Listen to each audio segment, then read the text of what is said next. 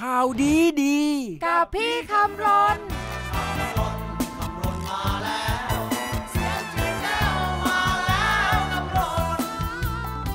ตอนป่าไม้ถาวรยังแน่นอนอยู่นะ จะบอกให้ พอดอย่อมาจาก กรมพัฒนาที่ดินพั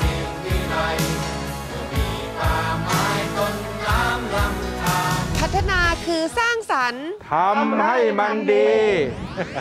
นับเนื่องแต่ปี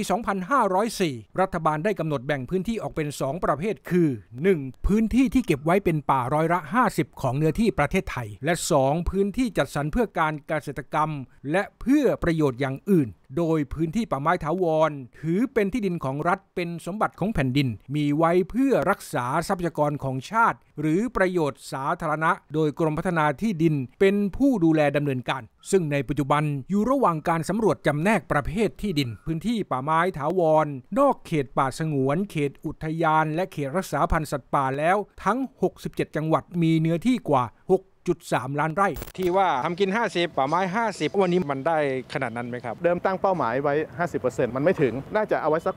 40%เนื่องจากประชากรของเราเพิ่มขึ้นที่ทำกินมีความต้องการสูง ก็เลยลดเป้าหมายที่จะเก็บไว้เป็นป่า จากเดิมที่ตั้งไว้ 50%ก็เหลือ 40%ในปี 2517 แล้วก็เป็น 40%ตั้งแต่นั้นเป็นต้นมานะครับณปัจจุบันก็ณปัจจุบันก็ตั้งเป้าหมายไว้ว่าเป็นป่า 40%แต่จากการวิเคราะห์ข้อมูลโดยแปลภาพจากดาวเทียมก็พบว่ามันป่าไม้มัน มีอยู่ประมาณ 31%เศษๆครับ และเมื่อสำรวจจำแนกประเภทที่ดินแล้วเสร็จช่วยลดปัญหาการบุกรุกที่ดินของรัฐ โดยพื้นที่มีสภาพป่าให้เก็บรักษาไว้เป็นป่าไม้ถาวรตามเดิม และส่วนที่เหมาะแก่การทำกิน ก็จะสรรให้ราษฎรเข้าทำกิน หรือใช้ประโยชน์อย่างอื่นตามนโยบายของรัฐก่อเกิดความชัดเจนระหว่างพื้นที่ป่าไม้ถาวรกับพื้นที่จัดสรรให้ราษฎรเข้าทำกิน สรุปว่า ทุกอย่างต้องดีขึ้น ดีขึ้น เอาโดด โดด สรุปไปสรุปมาได้ความอย่างนี้อย่างนี้ว่า การจำแนกประเภทที่ดิน แก้ปัญหาการบุกรุกป่าไม้ได้จริงครับ แมนบอแม่นแล้วป่าป่าป่าป่าป่าป่าป่าของไทย เคยรู้วิไลกับลดลงไปมากจ้า จึงเชิญชาวไทย ตระหนักในบูราปลูกสร้างปอป่า